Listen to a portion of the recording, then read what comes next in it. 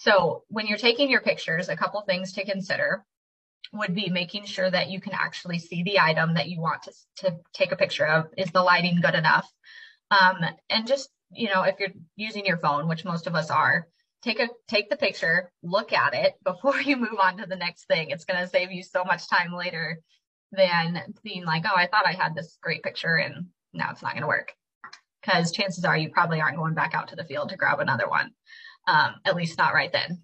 So some high quality photos with good lighting, grabbing multiple angles. Video is another good way to do this and make sure you get more. So even if you're not pausing at every angle to snap a picture, do a quick walk around. If it's a piece of equipment, um, if it's your livestock, go out there and walk around it to do a quick video. And it can be five seconds, but it really does make a huge difference in allowing the buyer to get a good idea of what they are going to see and what they're going to buy.